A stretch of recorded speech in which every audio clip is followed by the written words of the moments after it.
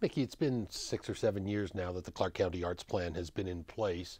Maybe if we could, let's just start there and talk a little bit about how this funding mechanism goes to provide funds for public art in Clark County. Yeah, definitely. It's called the County Arts Plan, and it is an ordinance um, that the commissioners had uh, brought up or approved in 2012, and it started in 2013.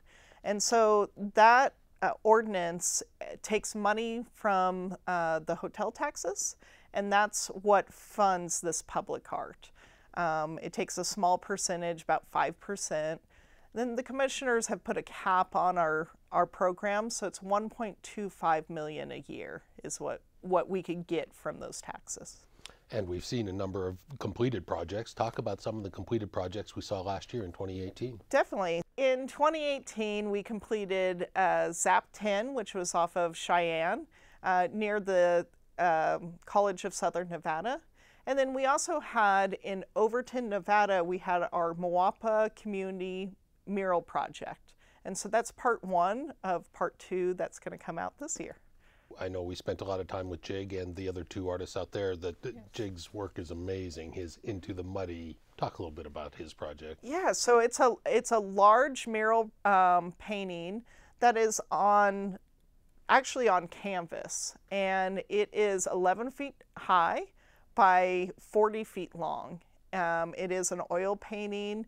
I mean, you're just not going to see this type of painting anywhere in the in the West, and so it's such a, neat project for public art to have this large oil painting in a building in Clark County, and his subject matter is kind of how um, how we end up becoming a city there, right, and became a town there. So it's all about the mining. It's about the people that came in and started shops and started farming and everything else. He also combined with Heidi, a couple local artists there, I believe, Heidi Levitt and Joan Day, and they also contributed to the larger project of this this whole yes. uh, efforts. Yes, they did. So um, during the call for art, uh, artists for that that particular project, Joan and Heidi were actually the semifinalists along with Jig, and so when Jig won the uh, major piece, Heidi and Joan had actually also made little paintings that um, that they were putting forward for the design, and so each individual painting from all three artists were were totally different, but the same premise about um, about Moapa Valley. And so Clark County chose to purchase those two paintings. Uh, we we did a little bit of rehab on them, made them uh, framed and uh, wall gallery acceptable, right? And we put them out at the recreation center, which is across um, or right next to the community center. So it's it's a wonderful project. Uh, there's a little thing that we do with that project where Joan's and Heidi's pieces are. And so we have a book where locals can write down their stories. So we're starting to do an oral history of like how did you come to live in Moapa Valley? So it's pretty neat. Such rich, rich history out there. Something I'm excited about, and I'm sure everyone in Parks and Rec and the art department and everything is, I believe it's called Organic Study Number Two by the Renewable Energy Team, and that's out at Desert Diamonds. And it's a fantastic pitcher holding a baseball. The amount of work that Luis and Pam and Michael have done on that is amazing, and it's going to blow. it's going to be a grand slam out there. Oh, 100%. So um, that piece is made out of steel. It is 18 tons. And, um, and you're right, Renewable Envoy, they, um, they, they basically took sheets of metal and they had a plasma cutter that cut out basically these large puzzle pieces and then the artist started to stack and weld those pieces. So it's a it's just an awesome piece. It's um, nothing that Clark County has ever purchased before. Uh, it is a unique piece. So we're very excited about that. We're going to have a reception here pretty soon. And um, Mickey, that's going to be such an amazing component for Desert Diamonds, which is an uh, a gem of a baseball complex, nothing like we have for 90 foot uh, base paths and 90 foot uh, diamonds that we have in Clark County. Right, and that's that's the great thing about having. Um, public art in these spaces. Clark County is really excited about this baseball park. Uh, we are in hopes that uh, we'll have major baseball tournaments out there. And I think it's a wonderful thing for County Arts Plan to have a piece out there for local artists. For local artists to have that piece, we're really starting to um, help out the community, even in a larger um, spectrum. If you think about it, you're going to have people from all over the country, maybe even the world, coming out to that baseball park. And who knows, maybe they'll connect with the artists on a different level. Maybe you know, it exposes the artist to a much grander scale. There will be thousands and thousands of Instagram posts and social media posts on that. And of course, who we've just talked about, that amazing team and Jig and his work, those were all call to art submissions. And yes. you've got a couple on the table right now one for out in Moapa at the Double Negative Gateway, and also Nellis Ceiling at the Air Force Base. Tell me about those two. Yeah, so um, the uh, Nellis Absolute Ceiling is a call for aviation sculpture um, in the median and that's off of Nellis, um, in between Nellis and Lamb on Las Vegas Boulevard. We don't have the exact details of what that's going to be because we want artists to apply and give us the design. So there's not too much detail I could give. Uh, the due date for that call is March 8th. And so, people that are interested, you need to um, submit your qualifications, and you would do that uh, by looking up Clark County contract opportunities and getting into the Clark County purchasing webpage where you can see those contracts and you apply through there. Um, now, the double negative gateway piece, that is also a sculpture. Um, that sculpture is a little bit more unique for us because it's going to be, um, the call can be kinetic, so those pieces could move around. And um, and it's just a great throwback to the well it's a gateway piece to um, michael heizer's double negative which is a land art sculpture or land art public art piece um, there on the mesa over overton.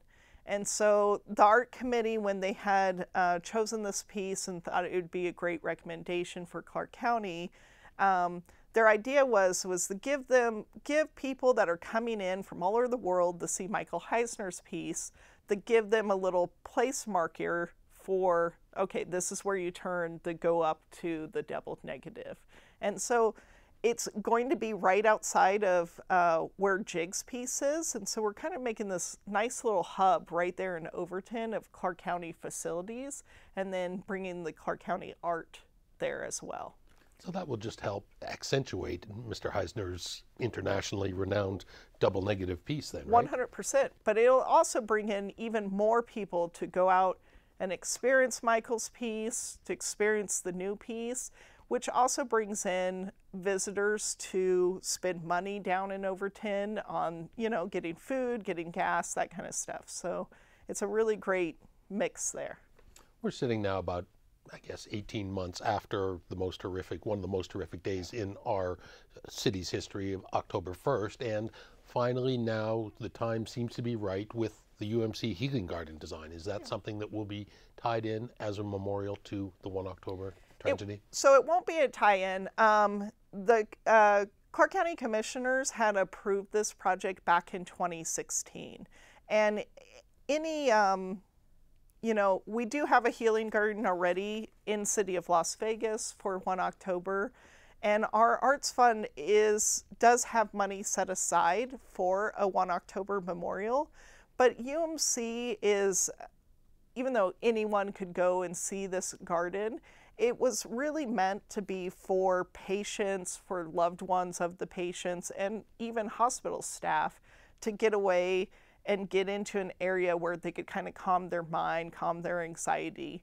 Um, healing gardens aren't a new new idea, It was much popular back in the day, and it's kind of petered out since. And so the art committee just wanted to bring that back into the fold of, you know, a good place to go. Are we asking for calls for artists on that, or what? What's the So that- status of that project? So that one, uh, the calls are closed now, and so it's in a jury process right now. We'll have a jury. We'll look at all of those submittals, and those submittals, mind you, are calls for qualifications. So it's the artist's letter of intent, it's their resume, and it's a few images of their artwork. From there, a jury's going to look at those um, applications. They're going to score them, and then they're going to out of that, the top scores are going to be selected to then be to make a design.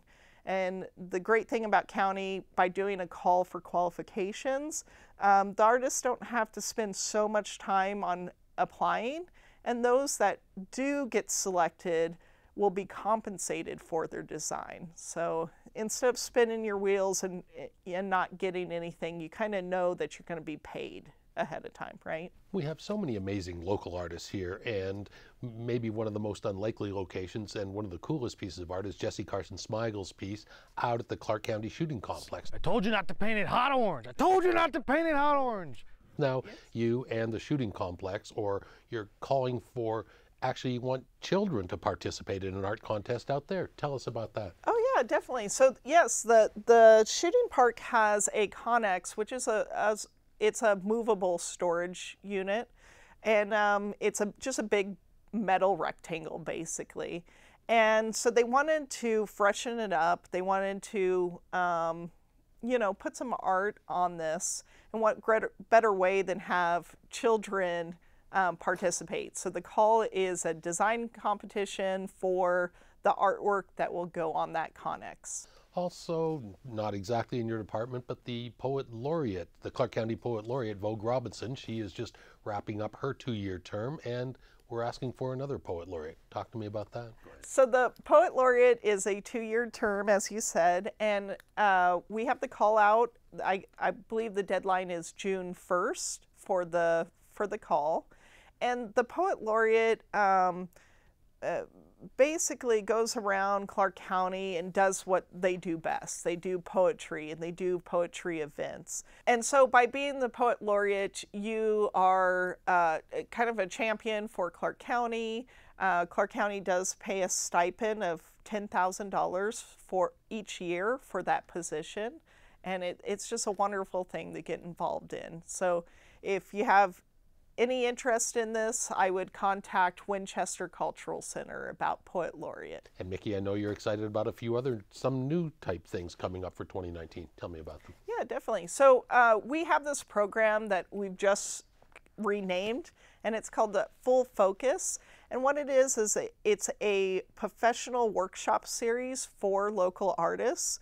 I'm bringing in public artists from all over the country to come and talk about how you become a public artist, how do you, um, you know, submit for these RFQs, how do you go about finding engineers, just every aspect of public art um, is what we teach. And so those are always on the second Saturday and Sunday of each month. Um, you don't have to go to both days. It's the same lecture both days. We tend to travel around town on the Saturdays, and so you want to check out our Facebook or, or contact us to find out those locations. But the Sunday is always here at the Government Center and um, from 10 a.m. to 1 p.m. All right. Well, keep up the good work. We appreciate you spending time with us. Definitely. Thank you.